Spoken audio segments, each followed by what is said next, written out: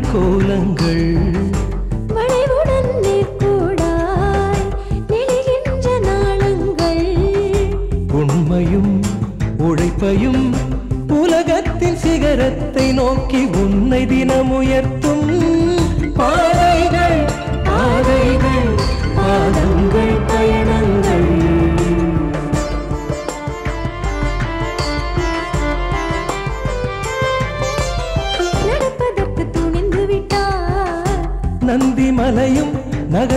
கொள்ளும். நம்பிக்கைகள் குடைந்தெடுத்தால் குகைக்கு மலைகள்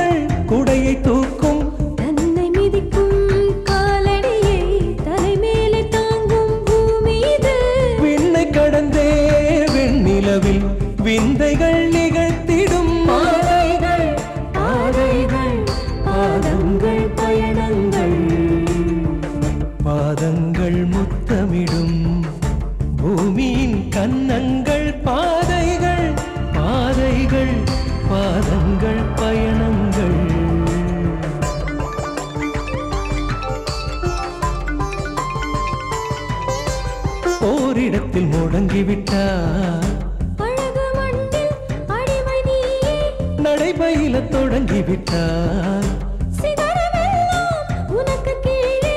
ஒற்றையடி ஆரம்ப பாதைகள் தான் நூறடியாய் காலம் மாற்றியது.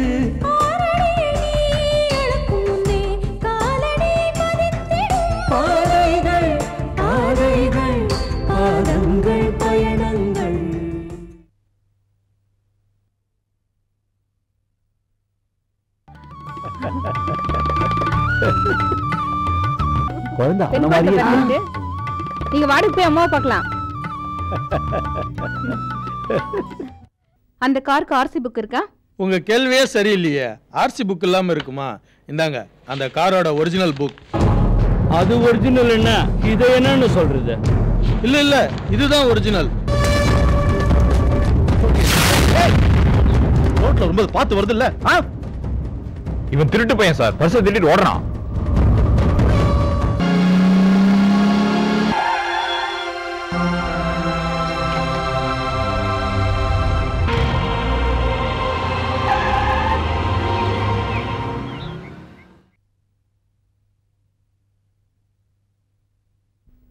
சத்யா இந்த மாதிரி பிஹேவ் பண்றானே எனக்கு புரியலப்பா. எந்த மாதிரி? நானா போய் சத்யா கிட்ட எங்க அப்பா கிட்ட சொல்லி உனக்கு ஒரு வேலை வாங்கி தரேன்னு சொன்னேன். சத்யா அதை கேர் பண்ணவே இல்லை. ஒருவேளை அவனுக்கு வேலைக்கு போக இஷ்டம் இல்லையோ என்னவோ. சரி அதையாவது என்கிட்ட சொல்லியிருக்கலாம் இல்லையா? சொல்லியிருக்கலாம் தப்பில்லை தான். எதுக்காக என்ன இன்சல்ட் பண்ற மாதிரி நடந்துக்கணும்? உன் கேள்வியில் நியாயம் இருந்தாலும் நான் எப்படிம்மா பதில் சொல்ல முடியும்? யாருக்குமே நல்லது நினைக்க கூடாதுப்பா. ஏன் நினைக்கிற? என்னப்பா இது? பின்பாட்டு பாடுற மாதிரியே பேசிட்டு இருக்கீங்க? அப்படியா? ஐ எம் வெரி சாரிம்மா நீங்க மூட்ல இல்லைன்னு நினைக்கிறேன். You are fifty percent right fifty பர்சன்டா ஆமாம்மா ஒரு மார்க்கெட்டிங் மீட்டிங்காக என்னை தயார் பண்ணிட்டு இருக்கேன். சத்யாவுக்கு என் மேல என்னப்பா கோவம்? தெரியலையே. அவன் ஃபோன் நம்பர் இருக்கா உங்ககிட்ட என்னப்பா சொல்றீங்க? Good morning sir good morning வாப்பா சத்யா. இந்த லெட்டர்ஸ் எல்லாம் எடுத்து அதில் ஃபைல் பண்ணி வைப்பா ஒழுங்கா. சரி சார் எஸ் சார் நீங்க வந்தீங்கன்னா மீட்டிங் ஆரம்பிச்சிடலாம். இதோ வந்துட்டேன்ப்பா இருமா வந்துடுறேன். என் பொண்ணு என்ன நினைப்பான்னு தெரிஞ்சு நடந்துக்கிறது தான் இந்த அப்பாவோட கடமை. சத்யா ஆல்ரெடி அப்பாயிண்டட் ஓகே தேங்க்ஸ்ப்பா இட்ஸ் ஆல் ரைட் வரேம்மா சத்யா? என்ன மேடம்? நான் உன்னை வேலைக்கு இங்க சேர்த்து விட தானே கேட்டேன். நீ என்னமோ ரொம்ப அலட்சியமா நடந்துக்கிட்ட? இப்ப என்னடானா எங்க அப்பா கூப்பிட்டோன்னே வேலைக்கு வந்திருக்க? மேடம் நீங்கள் என்ன வேலைக்கு கூப்பிட்டது என் மேலே இருந்த பரிதாபத்தினால. ஆனால் சார் என்னை வேலைக்கு கூப்பிட்டது என் மேலே இருந்த நம்பிக்கையினால். பரிதாபப்படுறவங்ககிட்ட வேலை செஞ்சால் பழி வந்து சேரும். அதே நம்பிக்கையுள்ளவங்ககிட்ட வேலை செஞ்சால் நல்ல வாழ்க்கை கிடைக்கும். உன் கோபத்துக்கு இதான் காரணமா. எனக்கு உங்கள் மேலையில கோவம் இல்லை மேடம். எனக்கு என் பழைய வாழ்க்கை நினச்சதா கோவமாக இருக்குது நல்ல பேர் எடுக்க வாழ்க்கை பூரா கஷ்டப்பட வேண்டியதாக இருக்குது அதே கெட்ட பேர் எடுக்கணும்னா ஒரு நிமிஷம் போதும். நான் அந்த ஒரு நிமிஷம் தப்ப என் வாழ்க்கையில் பண்ணிட்டேன். அதான் என்னை இந்த சமுதாயம் இப்போ தப்பாக பார்க்குது நான் திரும்பி வாழ்ந்தாலும் என் தலை குனிய வேண்டியிருக்கு. என்னை மன்னிச்சிரு சத்யா. நீ நினைக்கிற இந்த சமுதாயத்துல நானும் ஒரு அங்கமா இருந்தது உண்மைதான். சாரி ஐயோ சாரியில் இருக்குங்க. நீங்கள் சொன்ன என்ன சார் சொன்ன என்ன? எப்படி இருந்தாலும் உங்கள் கம்பெனியில் தானே வேலைக்கு சேர்ந்துருக்கேன். பரவாயில்ல. நான் ஒரு நல்ல இதயத்தை முழுசா புரிஞ்சுக்கிட்டு இருக்கேன். இனிமே உனக்கு எந்த பிரச்சனையும் இல்லை சத்யா. நீங்க வேலை செய்யறது முக்கியம் இல்ல. நீ மேல மேல படிச்சு வாழ்க்கையில ஒரு உயர்ந்த நிலைக்கு வரணும். அதான் என்னோட ஆசை. சந்தர்ப்பத்தால் சரிக்கு விழுந்தவனா. இப்போ எனக்கு ஒரு வலுவான கொடி கிடைச்சிருக்கு. இனி வாழ்க்கையில் நான் மேலும் மேலும் உயர்வேங்கிறதுல எந்த சந்தேகம் இல்லை. நிச்சயமா நீ நினைச்சதை சாதிப்ப சத்யா. என்னோட வாழ்த்துக்கள். தேங்க்யூ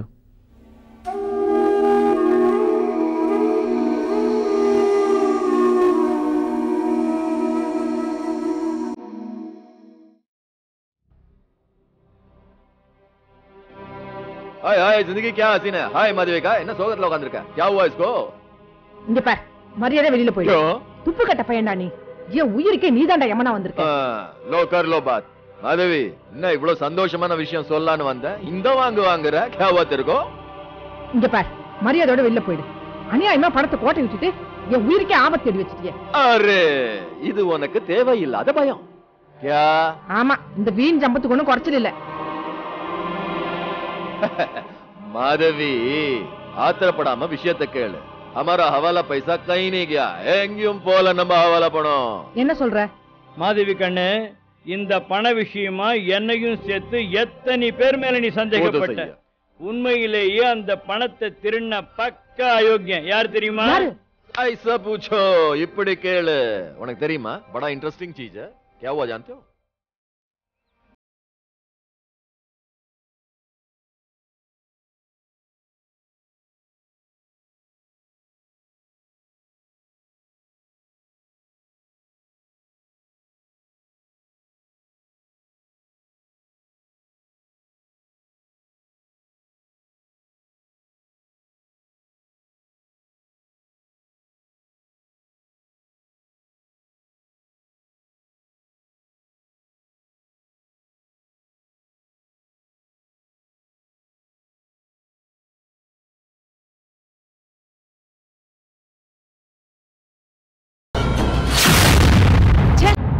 இவனுக்கு நான் என்னென்ன உதவிகள் செஞ்சேன்? பம்பாயில இவனுக்காக நான் எவ்வளவு பணம் செலவு பண்ணேன்? எவ்வளவு பெரிய ஆபத்துல இருந்தெல்லாம் இவனை காப்பாத்தினேன்? இவனோட சுகத்துக்காக நான் எவ்வளவு பெரிய தண்டனையை மனப்பூர்வமா ஏத்துக்கிட்டேன்? பாவி மக இவன் நல்லா இருப்பானா? இப்பெல்லாம் இந்த மாதிரி ஆளுங்களுக்கு தான் வாழ்க்கை. தெரியுமா? அவனோட வாழ்க்கையை அவனையும் நான் நாசம் பண்ணி காட்டுறேன். மாதேவி கண்ணு அவசரப்படக்கூடாது. பக்குவமா காரியத்தை செய்யணும். என்ன பணம் இன்னும் நம்ம கைக்கு வரல. அது வராது. வரும்னு காத்துட்டு இருந்தா நாம தான் ஏமாந்துடுவோம். பெரிய அமௌண்ட் எங்க வச்சிருப்பான்? ஏமாது? ஒருவேளை இங்கே எங்கேயாவது வச்சிருப்பானா?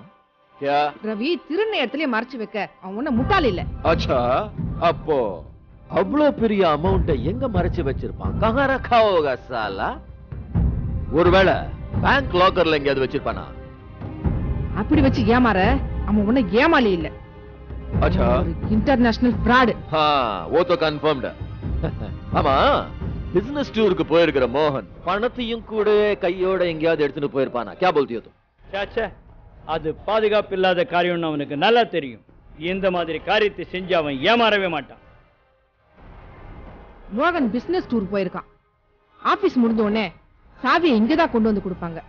ராத்திரி அவன் ஆபீஸ் போய் தேடனா ஒருவேளை பணம் கிடைக்க வாய்ப்பு இருக்கு ये மாதவி கண்ணு இது சரியான யோசனை और एक बात அந்த பணம் எங்கேயும் போயிருக்காது பைசா ஆயேகா பணம் வந்துரும் இப்படி வாயால வலை வீசுறத முதல்ல நிறுத்து लो कर लो बात சாவி கைக்கு வரட்டும் அயோக்கிய பையன்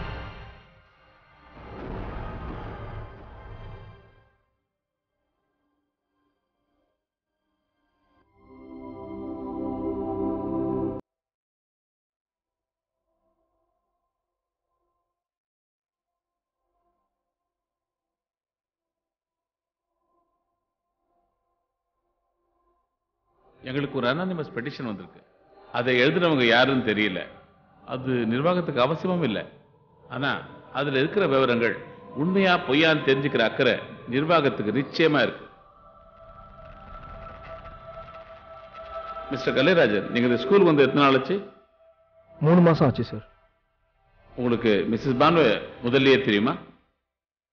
தெரியும் சார் நாங்கள் ரெண்டு பேரும் கல்லூரியில் ஒன்றா தான் படித்தோம் அப்படியா? இந்த ஸ்கூலுக்கு டிரான்ஸ்ஃபர் வாங்கிட்டு வந்த காரணம்? குடும்ப பிரச்சனை தான் சார் உங்களுக்கு கல்யாணம் ஆயிடுச்சா? ஆயிடுச்சு சார் குழந்தைங்க? இல்லை. நீங்க டிரான்ஸ்ஃபர் வாங்கிட்டு வந்ததுக்கும் உங்க குடும்ப பிரச்சனைக்கும் என்ன சம்பந்தம்? மனைவியை பிரிஞ்சு கொஞ்ச நாள் தனியாக இருக்கணும்னு ஆசைப்பட்டேன். அப்படி இருந்தா உங்க பிரச்சனை தீந்துருமா பிரச்சனை தீருமா தீராதாங்கிறத விட நிம்மதி கிடைக்கும்னு நினச்சேன் சார் இந்த ஸ்கூல்ல மிஸ்ஸஸ் பானு ஒர்க் பண்றாங்கன்னு தெரிஞ்சுதான் டிரான்ஸ்ஃபர் வாங்குனீங்களா? இல்லை சார் பானு இங்கே டீச்சராக இருக்கிறது. நான் இந்த ஸ்கூலில் ஜாயின் பண்ணதுக்கு அப்புறம் தான் தெரிஞ்சிச்சு. உங்களுக்கும் உங்க மனைவிக்கும் இருக்கிற பிரச்சனைக்கு மிஸ்ஸஸ் பானு தான் காரணம்னு சொல்லலாமா இல்லை சார் நான் இங்கே வரத்துக்கு முன்னாடி பானு பற்றி என் ஒய்ஃப்க்கு ஒன்றும் தெரியாது. அப்போ உங்க குடும்ப வாழ்க்கையில் ஏற்பட்ட பிரச்சனைக்கு என்ன காரணம்? என் மனைவியோட பிறவி குணம். அவ வளர்ந்த முறை. அவளை வழி நடத்திட்டு போற அவ சித்தி. அப்போ உங்க பிரச்சனைகளுக்கு பானு டீச்சர் எந்த விதத்திலையும் காரணம் இல்லைன்னு சொல்றீங்க. அதான் சார் உண்மை. அழகான ஓவியம் மாதிரி இருந்த என் வாழ்க்கையில தேவையில்லாத கோடுகள் விழுந்த மாதிரி திருமணம்னு ஒன்று நடந்துச்சு.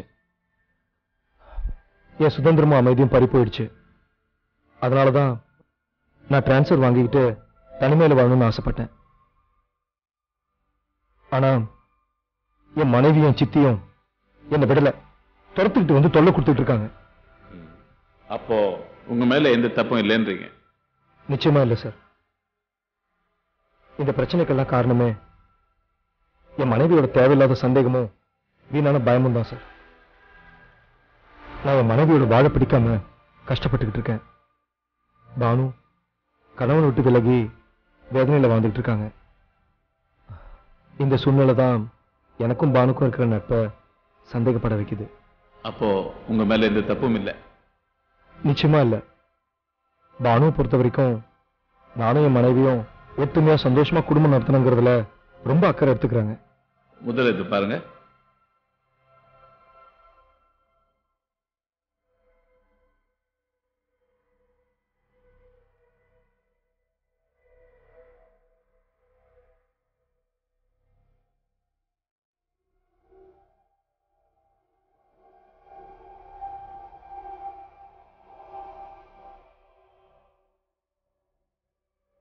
சார் நான் ஓவியங்களை எப்படி தெய்வமா மதிக்கிறனோ அந்த மாதிரி பானுவோட நட்பையும் நான் தூய்மையா மதிக்கிறேன் சார். இதுல இருக்க குற்றச்சாட்டுக்கும் எனக்கும் எந்த சம்மந்தமும் இல்லை sir.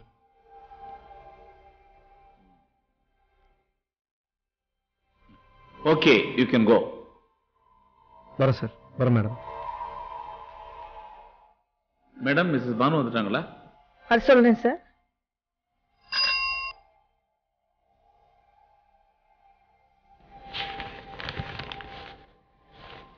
எக்ஸ்கியூஸ் மீ வாங்கம்மா. வணக்கம்.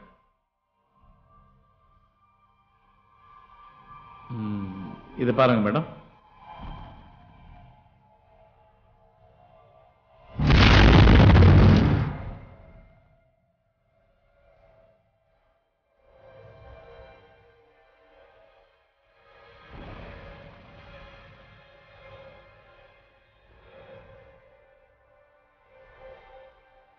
நாம நல்லவங்களா இருக்கிறதும் வாடுறதும் எந்த அளவுக்கு முக்கியமோ அதை விட முக்கியம் நல்லவங்கன்னு மாணவர்களும் கூட வேலை செய்யற ஆசிரியர்களும் மத்தவங்களும் நினைக்கணும். இல்லைன்னா ஸ்கூலுக்கு இருக்கிற மரியாதையும் மதிப்பும் போயிருமா? அப்படி ஒரு நிலைமை உருவாகிறதுக்கு நான் என்னைக்குமே காரணமா இருக்க மாட்டேன் சார். இந்த கடிதம் முழுக்க முழுக்க போய் சார். இவங்க குழப்பத்துக்கு காரணமே தேவையில்லாத சந்தேகம்தான். மத்தவங்க சந்தேகப்படுற மாதிரி நாம ஏமா நடந்துக்கணும்? ஏமா நான் சொல்றது கரெக்டா கரெக்ட் சார் ஓகே நான் கிளம்புறேம்மா.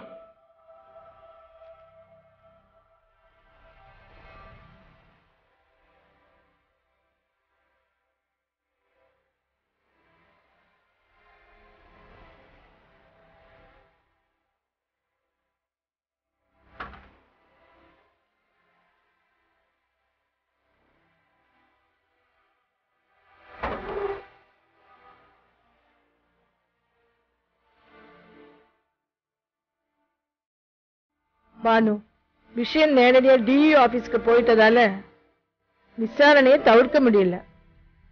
அவர்கிட்ட நான் எவ்வளவோ சொன்னேன். அவர் எல்லாம் மௌனமா கேட்டுக்கிட்டாரே தவிர பதில் எதுவும் சொல்லல. எனக்கு எந்த பாதிப்பும் வராதுன்னு நான் நம்புறேம்மா. Okay madam.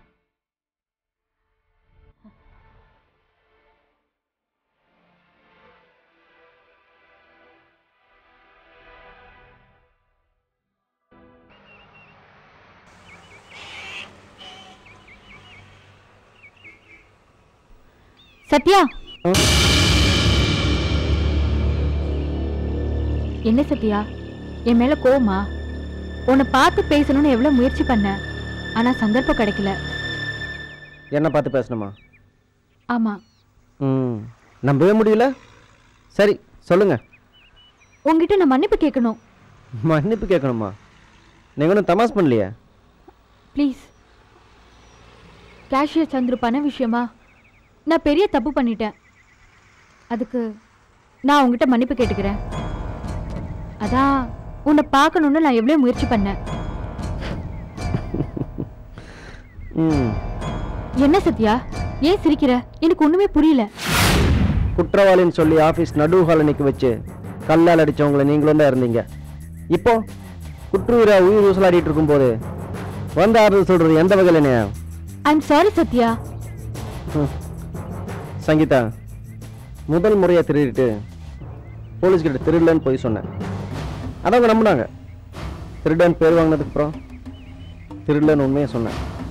ஆனால் அவங்க அதை நம்பல. நம்பாம அவங்களால முடிஞ்ச அளவு கழிச்சாங்க சாரி சத்யா. நான் பெரிய தப்பு பண்ணிட்டேன். என்ன மன்னிச்சிடு. சத்யா.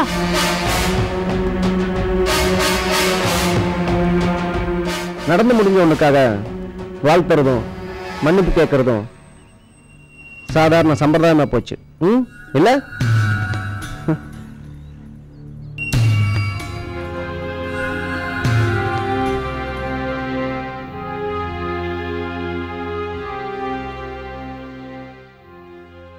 நமது பொதிகையில் ஸ்ரீ கணேஷ சரணம் கஜானன தேவர் முனிவர் பணியும்.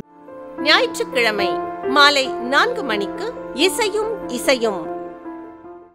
வாழ்க்கையில சந்தோஷம் இல்லைன்னா சங்கீதத்துல சங்கீ சந்தோஷம் இருக்காது. சங்கீதத்துல சந்தோஷம் இருந்ததுன்னா உண்மையான சந்தோஷம் இருந்து. அதாவது கிளாப்ஸ் கிடைக்கிறதா பார்க்குற அந்த சந்தோஷம் இல்லை. அந்த சங்கீத பாடும்போது ஒரு சந்தோஷம் கிடைக்கிறது இல்லையா? அந்த சந்தோஷம்.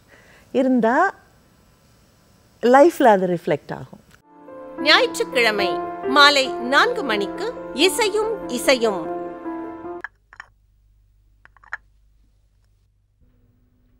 எங்கே சித்ரா? ஆனந்த்? அவன் தூங்கிட்டு இருக்கான் தூங்குறானா? உடம்புலாம் நல்லா தானே இருக்கு? உடம்பெல்லாம் நல்லதா இருக்கு. இருந்தாலும் ரொம்ப அடம். அழுதுகிட்டே படுத்தவன் அப்படியே தூங்கிட்டான். சின்ன பையன் தானே? இதெல்லாம் நம்ம பெருசாக எடுத்துக்கிட்டா எப்படி? ஆமா எதுக்கு அடம் பிடிச்சான்? அடங்கிடலாம் ஒன்றும் இல்லைங்க. ஆனந்த் ஸ்கூல்ல ஆனுவல் டே ஃபங்க்ஷன் வருது. அதுக்காக ஸ்டூடெண்ட்ஸ் எல்லாரையும் அப்பா அம்மாவை கண்டிப்பாக கூட்டிட்டு வரணும்னு சொல்லிட்டாங்க. அதான் பிரச்சனை. பிரச்சனைன்னு நுனி நான் கால சொல்லாதீங்க அண்ணி. அது ரொம்ப பெரிய பிரச்சனை. ஏன் சித்ரா அப்படி சொல்ற? ஆனுவல் டேக்கு அப்பாவையும் கூட்டிட்டு போகணுன்றான். என்ன நீ? நெருப்புனா வாய் வந்துடும் போது ஆட்டை பார்க்கலாம்னு சொல்லி வையேன் ஆகட்டும் பார்க்கலான்னு சொல்லிட்டு அப்புறம் யார் அவன்கிட்ட போராடுறது? இல்லை சித்ரா குழந்தை எப்பவும் ஆசைப்பட்டு பிடிக்கிற பிடிவாதம் நிரந்தரமா இருக்காது. இல்லைண்ணே நீங்களும் அவனை சரியா புரிஞ்சுக்கல. அவன் நடந்துக்கிற விதம் சில சமயத்துல அவன் என் மேல வச்சிருக்க பிரியத்தை விட அவங்க அப்பா மேல தான் அதிகமா வச்சிருக்கானோன்னு எனக்கு தோணுது. இது எல்லா குடும்பத்திலும் நடக்கிற சாதாரண பிரச்சனை தானம்மா.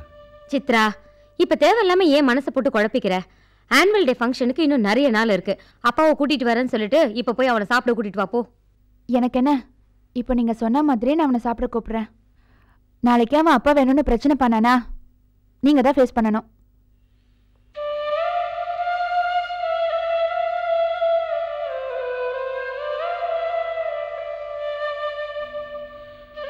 சித்ரா பயப்படுற மாதிரி. இது ஒரு பிரச்சனையில் தான் முடியும்னு நான் நினைக்கிறேன். என்னங்க நீங்க? எப்பவோ நடக்க போற பிரச்சனைக்காக இப்பவே நாம ஏன் குழப்பிக்கணும்? குழந்தைங்க நிலாவை புடிச்சு கொடு யானையை வாங்கி கொடுன்னு கேட்டா சரின்னு இப்போதைக்கு தலையாட்டிடலாம். அப்புறம் ஏன் முடியலங்கிற காரணத்தை நம்ம அப்புறமா சொல்லி புரிய வச்சுக்கலாம். இந்த பாரு ராகினி. இந்த நிலா யானை கதைலாம் இதுக்கு பொருந்தாது. இல்லைங்க. குழந்தைங்க கிட்ட எப்பவுமே பாசிட்டிவாக தான் மூவ் பண்ணணும். ஆனுவல் டே ஃபங்க்ஷனுக்கு இன்னும் எவ்வளோ நாள் இருக்கு? அதுக்குள்ள இந்த விஷயத்தை ஆனந்த் மறக்க கூட செய்யலாம். அப்படியே அவன் ஞாபகப்படுத்தி கேட்டாலும் அந்த நேரத்தில் நாம ஏதாவது சொல்லி சமாளிச்சுக்கலாம். நீங்க ஏன் கவலைப்படுறீங்க? எல்லாத்தையும் நான் பார்த்துக்கிறேன் ஓகே. நடக்கிறது நல்லதா நடந்தா சரி. சாப்பிடு. ஏய் உன்னோட அகம்பாவத்தையும் ஆணவத்தையும் பொறுத்துட்டு இருக்க நினைச்சு ஏமாந்துடாத இதையே நானும் திருப்பி சொல்ல முடியும். ஏய் டிஓக்கு யார் லெட்டர் எழுதுந்து தைரியம் இருக்க யாரும் மொட்டை கடை எழுத மாட்டாங்க.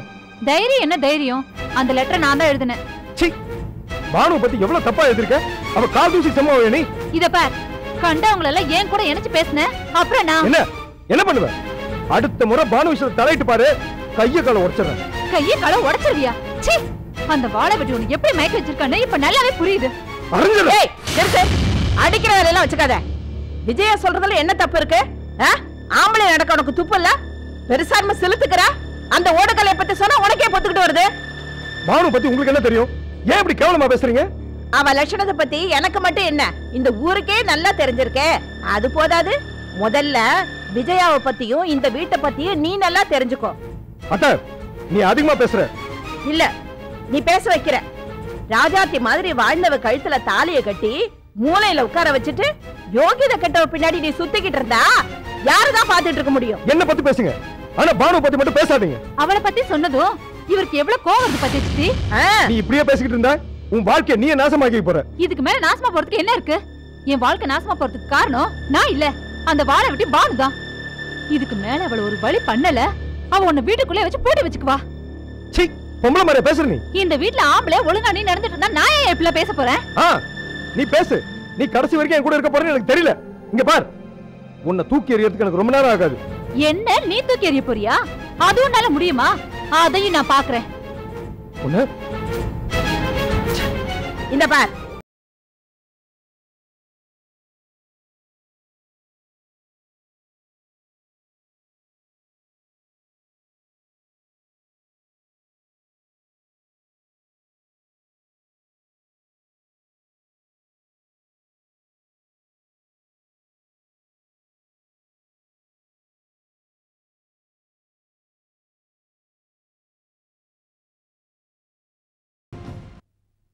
பாதங்கள் முத்தமிடும்.